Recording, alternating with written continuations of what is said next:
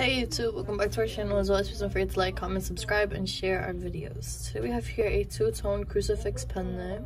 As you can see, this pendant is made of yellow and white gold. It has zirconias. This pendant weighs 4.7 grams and is made of 10 karat gold. It is an open back pendant. If you're interested in purchasing this item, there will be a direct link in the description below. And if you have any further questions, please don't hesitate to call me at 813-888-8590. Thank you.